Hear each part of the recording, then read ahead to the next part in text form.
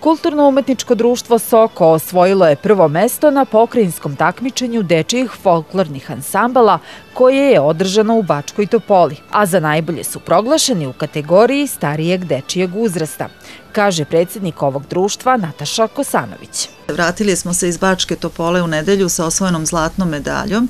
Naime, naš drugi ansambl sa igrama iz Metohije osvojio je to odličije drugu godinu za redom, tako da smo vrlo ponosni na taj ansambl i kako su odigrali na komentar žirija, tako da zaista ovako ponosno smo stigli.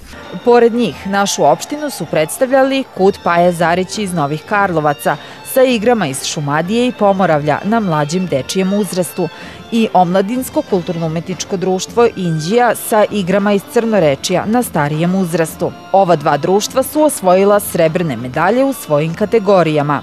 Ukupno je na takmičenju učestvovalo 35 folklornih ansambala, a sva tri iz Inđijske opštine su zabeležila zapažen uspeh,